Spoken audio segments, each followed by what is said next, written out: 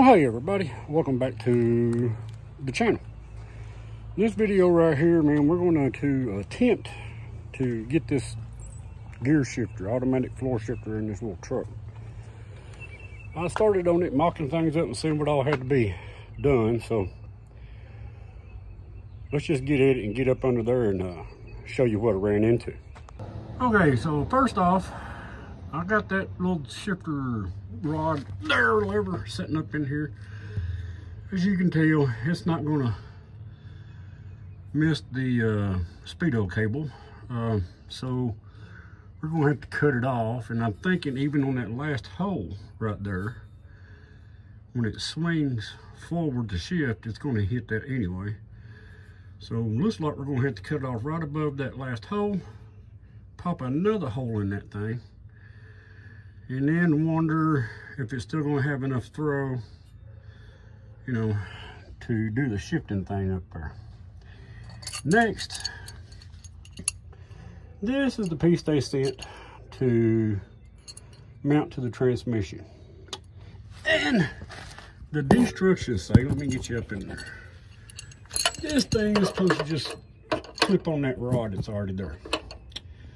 Okay, there's no way possible because um, at this angle you're not going to be able to shift it the up. And if we go in the front you still got the same problem. So looks like instead of going by the directions or the destructions we're going to have to take that off take this off. It's got some little a little hole in there where you can i don't know if you can see it I think it will mount to the actual stud, shifter stud coming out that transmission. We will just have to see when we get there. So there's my problem so far. And getting those two little bolts in that thing up there, focus, focus, I'll get you up in there there, is no easy task. It looks like it's going to hit that bolt, but it's not because that's as far back it goes. It just goes forward from there. But I guess I can get a grinder up in there and cut them off before I really finish this up. So first step looks like getting this back off, cutting it down to size, drilling another hole, probably about right there, and hope that fixes the situation. Well, we got our piece cut off, got our hole drilled, around the right size drill bit. And let's clean the hole up and go stick it back up under the truck. Well, tighten up one more bolt here. We should have this thing, at least that one lever on there. Over there. All right, success on that part. Now to see what we gotta do get this little jewel mounted on there. Like I said, I think I'm gonna take this out, this off, and see if that thing will just bolt on there. Um, it might not, but we're gonna give it a shot there first. All right, so what I ended up doing is, like I said, I took the OEM off. This thing did fit on there. Uh, and it snug right on there like it's supposed to, just like the OEM one. So, uh, move this shifter up to right there.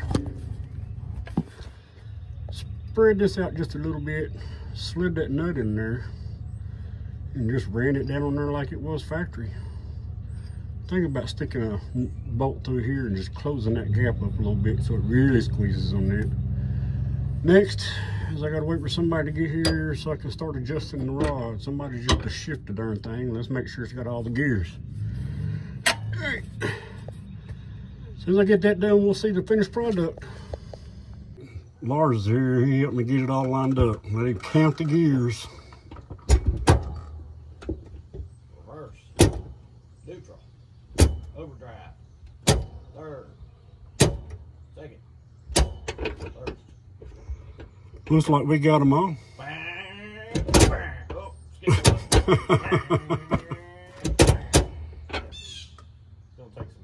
to. Yeah, we'll show you what's going on up top here in a minute. This thing is real close between gears.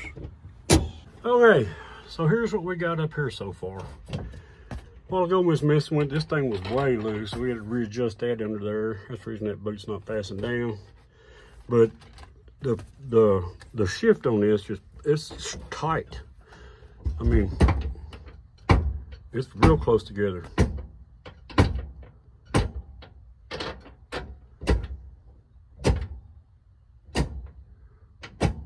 Come on, a couple more.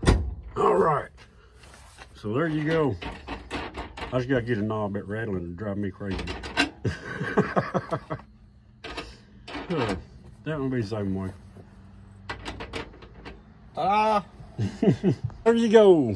Floor shift installed and working properly. I'm just gonna have to practice shifting that thing because it's like, bap, just barely.